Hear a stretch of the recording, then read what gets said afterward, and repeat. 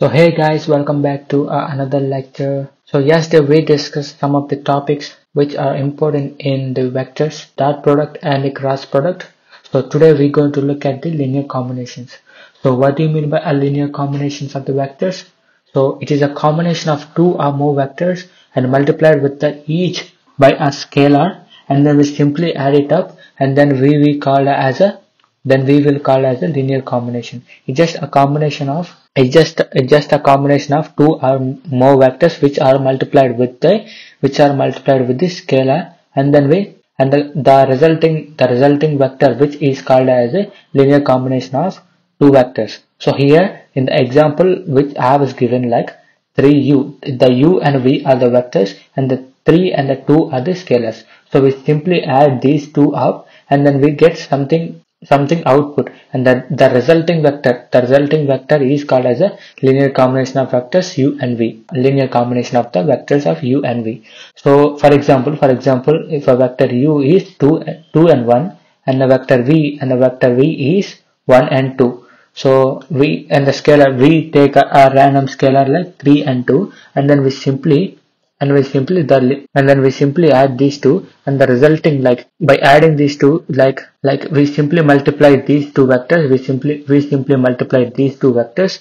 And then we and then we add these two up. And the, the resulting vector the resulting vector is called as the linear combination of these two vectors the linear combination of u and v vectors. So i hope you understand like just a combination of two vectors and multiplied with the scalar. So I recommend to explore it by own so that you will understand in a better way. So after that, after completing the linear combinations, so we're going to discuss something known as span of vectors. So what do you mean by a span of vectors?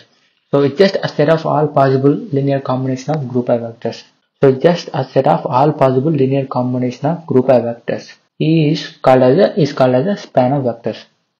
So if the span of vectors of v1, v2 and v3 are written are written as is simply written in a parenthesis like v1 v2 and v3 so for example for example uh, the span of vector the span of vector minus 5 and 2 the span of vector minus 5 and 2 then then the span then the span of vector become like like this. So it's just a set of just a set of linear combination of these two vectors just a linear combination. So what do you mean by linear combination i just said it before. I just said before. Please please review it. So it's just a combination of two vectors. Is called as a span of vector. By adding these two vectors we get we get span of vector. And we can divide from span to linear combination by just doing this. So try it try it more examples on your own like like 1 2 like having 1 2 like 1 2 etc so try it on your own i i hope you do that so after completing the span of after completing the span of vectors, so we go into something known as the linear dependence and the linear independence. So how what is linear dependence? So how they are dependent and how they are independent. So if the vector if the vector have a linear dependent then the vector is represented as a linear combination. So for example, if the vectors are not represented as a linear combination, so if no vector so for example like if no vector has, is represented as a linear combination if no vector is represented as a linear combination of the vectors then we call as a the linearity independent of the vectors so that what do you mean by linear independent? So indian independent means like they they don't have any dependence upon the each vector. So so for example v vector and we have two vectors. So if if the if the they are both are independent to each other. Then we call as a linearity independent of the vectors. So the linearity to get a hands-on experience i suggest you to research on your own. So so use ChatGPT for that. It will give you the more accurate answers. So i hope you understand like i hope you understand like what is dependence and how it independent of the two vectors in a linear combination and then the dependence of the two vectors in a linear combination of the vectors so if if if it is dependent then we call as a the if the uh, if the, and then we call as the vectors are linearly dependent. If it if they are independent then we call we simply call as they are linearly independent. That's it. So after completing those dependence and independence we're going to cover something known as norms. So the norms just tell it just tells about the length of the vectors. So there are three kind of norms there are three kind of norms l1 norm l2 norm and the max norm. So what are these? We're going to discuss in detail it further. So what is the use of norms in the machine learning? The they, this is used to reduce the overfitting of the models.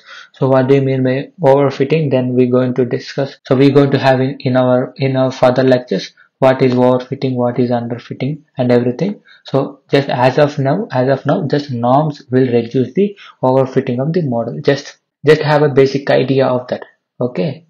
So so the norms communicate with this scaling. So the norms communicates with the scaling and it is zero only with the origin. So it is the norms are zero only in the origin. As i discussed what is origin. Uh, see my previous lectures like what is origin and how the vectors can be drawn etc so we're going to discuss what is l1 norm what is l1 norm so it is called as also the manhattan distance. So what do you mean by a manhattan distance? It just it, it calculates the sum of absolute value.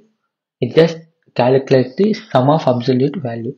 So the formula is like so the formula like the L1 norm so it it is a so it is the L1 norm so it's just a summation of from 1 to n r equal to 1 to n.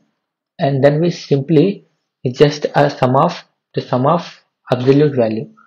Just a sum of absolute value. So for example i got i want to give you an example like like I want to have a L1 norm of the vector like a vector like 2 minus 2 and 2 so by using this formula by by using this formula I want to have this so I just apply this formula over here and I get like we have a norm over there.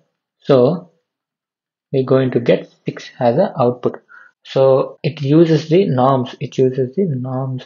It calculates the sum of absolute value. So I want to discuss some of the advantages. So I want to discuss some of the advantages of L1 norm. The L1 norm, the L1 norm, it optimizes the it optimizes the median and and the L1 norm is not sensitive for L1 norm is not sensitive for outliers. So we have to remember these two things like it optimizes the median and it is is not sensitive for the outliers. Okay. So after that we're going to cover something known as L2 norm. It is also called as Euclidean norm. So it just calculates the distance from the origin. It calculates the distance from the origin, whatever it may be. Just distance from the origin, okay?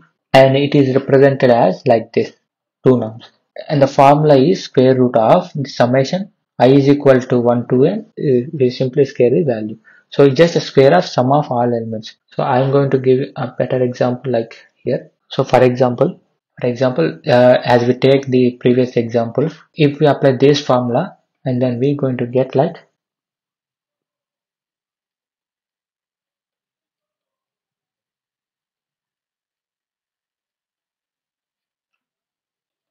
then we're going to get like 2 square plus 4 and 4 and 4 and then we're going to get 12 so what is the value of root 12 comment down below so the L2 norm regularization optimizes the mean cost which is often used as a performance movement. It optimizes the mean cost, okay? And this is especially good fit if you if you don't have any outliers. So it is very good when you when you don't have any any outliers in your data and it improves the prediction performance. So i hope you understand like uh, so what do you mean by l2 norm and how how we use this to make predictions and how this especially good for the data if we don't have any outliers like something. So after that we're going to cover something known as max norm. So just simple like max norm. By the word you can understand max. It takes the distance by taking the maximum element from the vector. It just takes the maximum element from the vector. So so the, we can written a formula like this. We just look this. Uh, we have a we simply take the max value. We simply take the max value. For example so for example a vector is given like like 2 5 11 and we apply if we have a max norm over there and then the max of the max of v is equal to what is the maximum value? It is 11 it is 11 so the max of this is equal to 11 so I, I have covered. So I have covered first the linear combination. Is just a com it's just a combination of two vectors and multiplied with the scalar. And uh, we have a usage over there. And then we come to the span of vectors. And then we come to the span of vectors where the where the set of all possible linear combination of the vectors is just a combination of the it's just a linear combination of the it's just a linear combination of the two vectors and then we come to the linear dependence and the independence how they are dependent and why why they are dependent etc and then we covered and we covered something known as norms and we discussed about L1 norm, L2 norm and max norm and how they are useful in our machine learning and how they are used in optimization problems and how they are perform in the outliers and not etc. So I hope you enjoy this session. And the next lecture is going to be the matrices. So we're going to cover so we're going to cover the matrices and the scalar matrix products and the matrix addition we're going to cover. We have we, we have our operations on matrices and the transpose of the matrix. And we have a special kind of matrices we're going to discuss in our next lectures. After that we're going to cover the triangle matrix and the symmetric matrix determinant and the properties of determinant and a lot more. So stay tuned to the ml hub. So until then bye bye see you in the next lecture